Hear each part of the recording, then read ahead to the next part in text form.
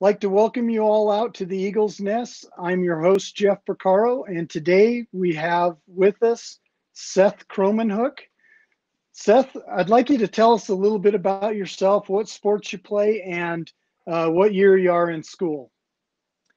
All right, thank you for having me. Um, so I play I play three sports. Um, football is my first uh, in the fall, and I'm the kicker for them. Um, and then next I have basketball, and I play um, the forward. And then uh, after that in the spring we have soccer, and I play center back. And then uh, I'm a junior this year. So that's that's great. And so um, with all this going on, did you guys just only get one game in before this was all stopped? So we, uh, thankfully, we were able to head down to St. George. Uh, we had a three-game preseason tournament down there. Um, so that was that was nice to get a few more games in. But then we came back and we had one game against Springville. Uh, thankfully, we beat them, so we ended our this little break uh, with a win. But yeah, definitely cut our season shorter than we'd expected. Yeah, that's that's tough too. Um, so, what have you been doing to kind of keep in shape and keep going while this suspension's been going on? Mm-hmm. Yep. So I um, I've done my best to try to do a workout of some sort every day, um, whether it's lifting um, or going for a run, um, and then I try to get touches on the ball uh, frequently throughout the week. Um, but yeah, it's it's tough not having our regular practice schedule, um, but it's nice to get get working out. Yeah, that's that's great. And so one of the things too is you're kind of working and, and drilling and all these kinds of things. You know, when a lot of people will go out and get ready to um, practice and and kind of go through the monotony of drills and everything, what what would you say um, is what you and your teammates do to kind of make practice fun? Mm-hmm. Um, well, I think for me personally, the funnest practices are actually the most competitive. And so when when uh, players show up focused and uh, with energy, you tend to have more fun. You kind of get on each other's nerves and um, make it a little more enjoyable. That's great. Um, and so some of the other times when you get out on the field, a lot of people, and especially you being a place kicker uh, and all, there's there's got to be some nerves, you know, along with that.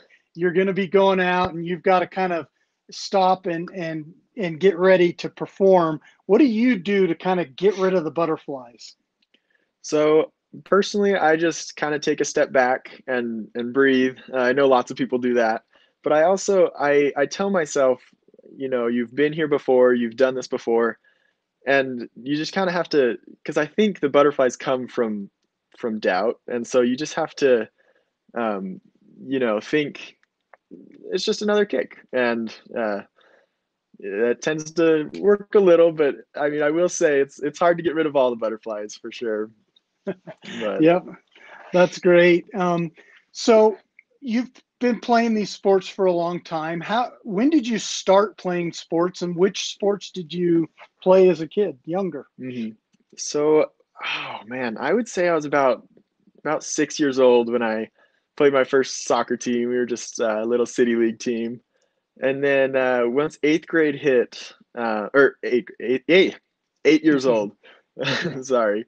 Um, when I was eight years old, I joined a club soccer team, and uh, we I've been playing that ever since. And then basketball started up in fourth grade. Um, so yeah, it's it's been a while. Okay.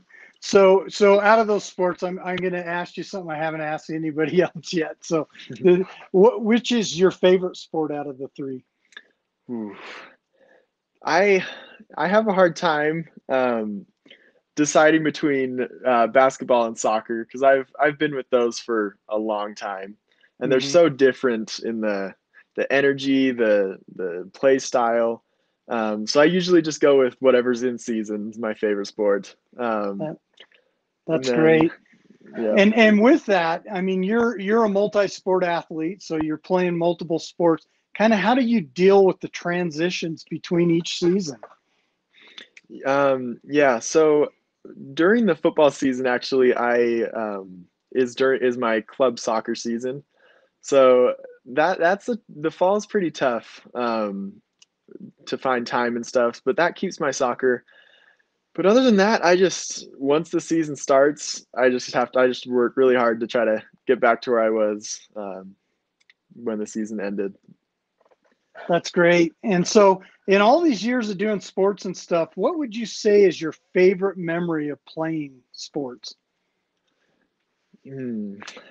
Well, one that comes to mind was actually this year, um, preseason basketball. We uh, we were up at doing a Corner Canyon tournament, um, and we were matched up against Corner Canyon, and uh, so it's at their place. It's this big preseason tournament, and I'm not 100% sure, but I'm not sure if we've beat them uh, in the past. Mm-hmm. They're they're a good team. Uh, I believe they were the 5A state champions uh, last year as well, and so we went into that and we played so good. We could not miss. It was oh, we played such good defense, and just the the bond that we got after that game.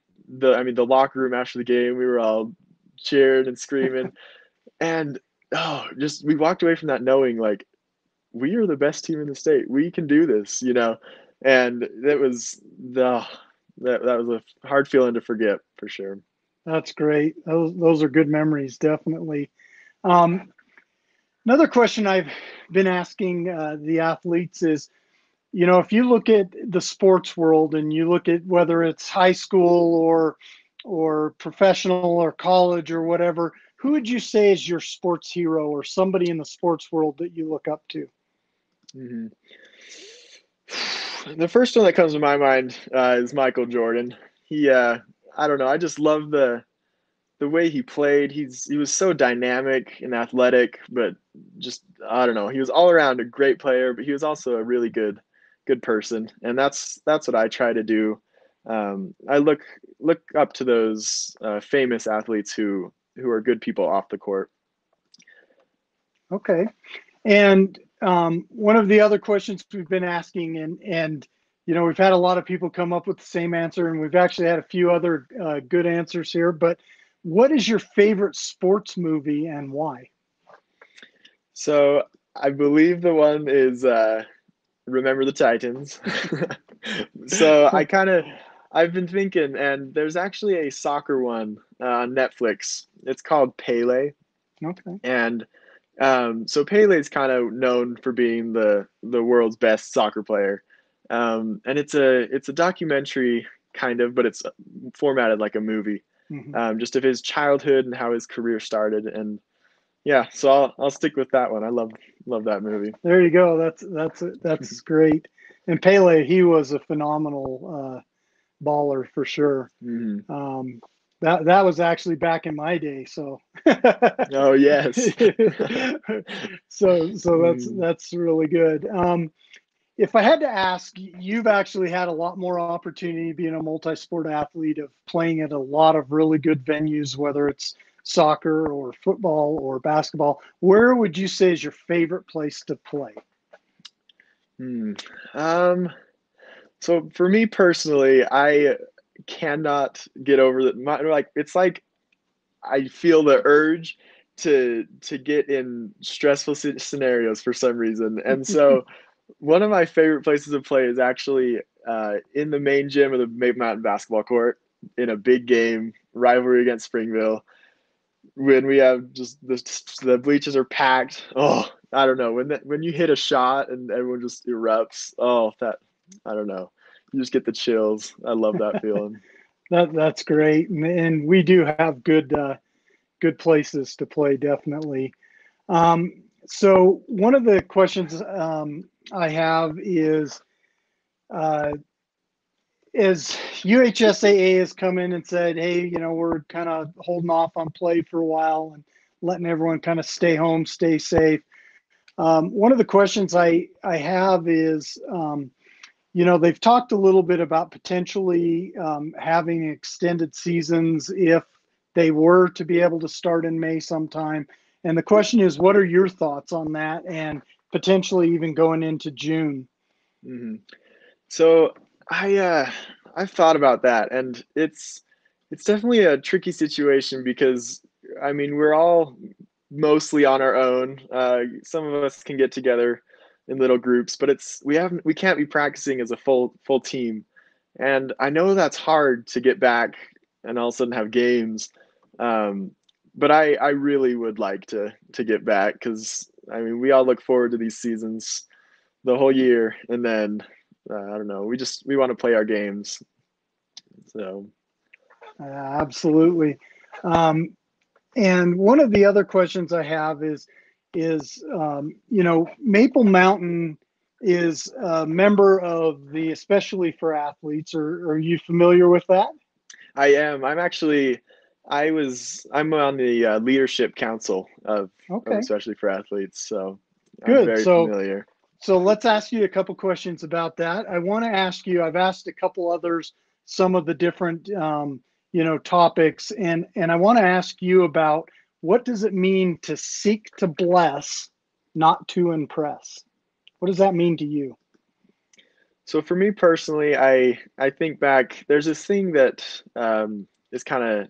I think I believe there's a book written about it. It's they call it the the sport light, and it's kind of a idea that like the athletes are they get extra attention, and it's what you use with that attention, whether good or bad. And so that's that's what I the way I see it.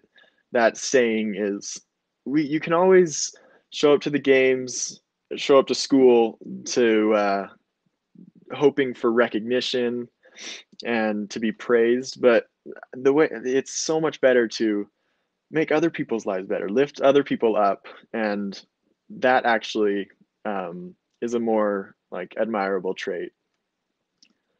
That's great. Thank you for your words there. Um, mm again, I want to thank everyone and uh, for following us and, and watching these uh, segments. And I want to thank you, Seth, for finding some time to be able to to hook up in a video chat. And um, appreciate it. Thank you so much for having me. It's been it's been fun. Okay, so this has been another episode of the Eagle's Nest, and I am your host Jeff Porcaro.